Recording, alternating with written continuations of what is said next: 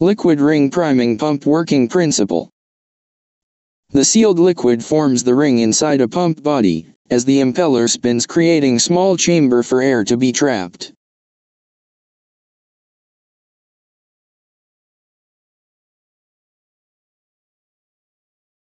The axis of the rotor is eccentric from the body, allowing the liquid to almost fill, and then almost empty each rotor chamber during a single revolution forming the compression of the air for the pumping action.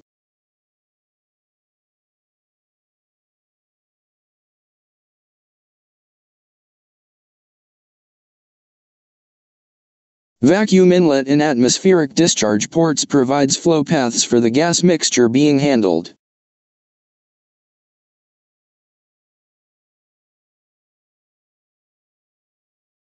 Why all engine room centrifugal pumps not fitted with priming pump? Priming pump is fitted to only those centrifugal pump where suction head is negative or suction lift is high.